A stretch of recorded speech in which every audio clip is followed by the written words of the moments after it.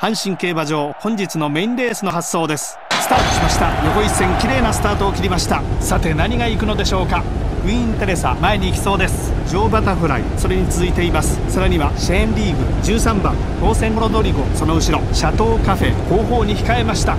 では前の方から見てみましょう。先手を取ったのはパレスプライシス。その外からシャープカット。すぐ後ろにクイーンテレサ。さらにはマルゼンクリスタル。その後ろにトウセンロドリゴ。その外からトラストミステリー。すぐ後ろにシェーンリーグ。その外からシンボリブライト。その隣にファイティングエマノーブルユース。そのうちに続いています。この辺りで各馬第2コーナーから向こう正面に入りました。1番人気のエトワール・ジェガー。中団につけています。では前の方から先手を取ったのはシャープカット。少し開いてジョーバタフライ。そしてやや離れてバレスプライス。さあ先頭はまだ連勝中のシャープカットシャープカット。さらにリードを広げました。2番手はジョーバタフライ。間を挟んでバレスプライス。3番手。さあエトワール・ジェガー。前を捉えるか。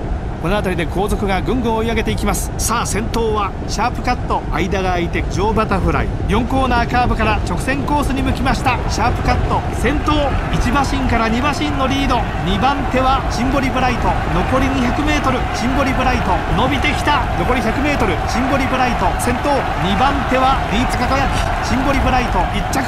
シンボリブライト。完勝。シンボリブライト。1着。2着はディーツ輝き。見事に勝ちました。シンボリブライトエト。ワール・ジェガー敗れました。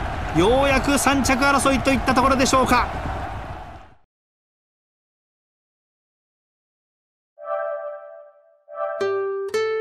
最速の名をかけてスプリンターたちがここ中山競馬場に集結しました。瞬きする間もない電撃の芝のハロン戦。さあ G1 スプリンターズステークスの発想です。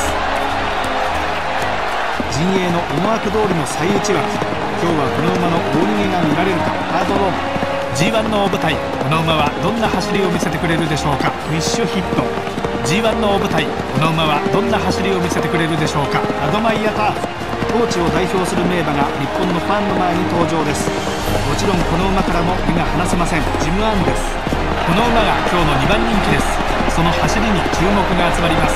アメリカンアップ好位につけマイペースでいけばゴールが見える。ブランドミリオン。誕生は人気薄での名手。一発の可能性は十分にあります。シャインブルック G1 制覇にかける思いはこの馬も同じです。ミレニアムカード。はるばる海外から参戦。このレース注目の一頭です。今日はどんな走りを見せてくれるでしょうか。アレス・ロバビー。前走で敗れはしましたがまだ見限られるような馬ではありません。アースシンフォニー。直線で後位から抜け出す得意の勝ちパターンが今日も炸裂するか。オープニングバック。続いて入場するのはこの馬です。ファンの期待を背に走ります。大鳥アンサー。人気はそこそこですが関係者からは自信のコメントが返ってきました。ここは期待したいところです。当選カフェ。続いて入場するのはこの馬です。ファンの期待を背に走ります。アトムキャンドル。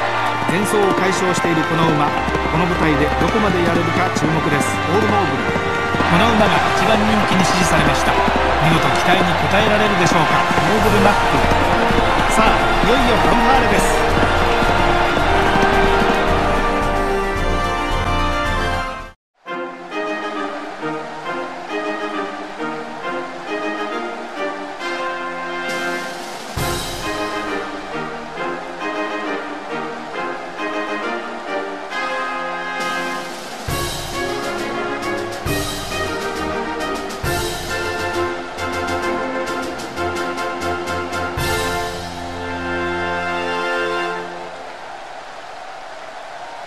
最速の名をかけてスプリンターたちがここ中山競馬場に集結しました。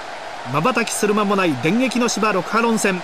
さあ G1 スプリンターズステークスの発走です。さあ最後は大外枠のノーブルマックゲートに入って体勢が整いました。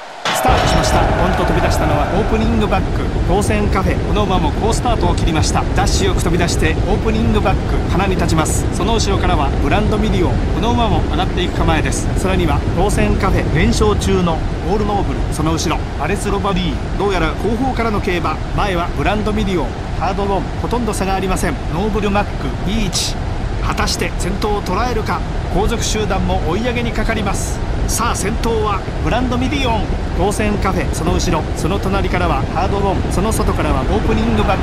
第4コーナーをカーブしてさあ直線コースに入りました。あと 200m 先頭はアトムキャンドル。アメリカンアップル。必死に追いすがります。2番手はアメリカンアップル。アトムキャンドル1着。アトムキャンドル。完勝。アトムキャンドル。1着。2着はジムアンです見事に勝ちました。アトムキャンドル。ノーブルマック。敗れました。これは掲示板までです